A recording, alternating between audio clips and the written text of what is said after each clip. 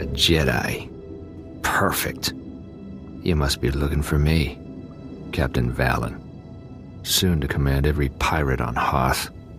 But you don't have to kneel or anything. You're pretty arrogant, aren't you? From a Jedi. That's like an expert opinion. I was flattered. A whole coalition army sent just to kill me. But it got old, so I'm glad for something new. Hmm. Nice day, pretty lady. Maybe I'll let you go. For now. Better hurry before the device goes off. I'll destroy anything and everything that threatens the Republic. Cute. I don't do threats. I'm unique. The galaxy hasn't seen a man like me since Nok Drayen wiped out half the Hutt cartel in one night. My legend's just begun.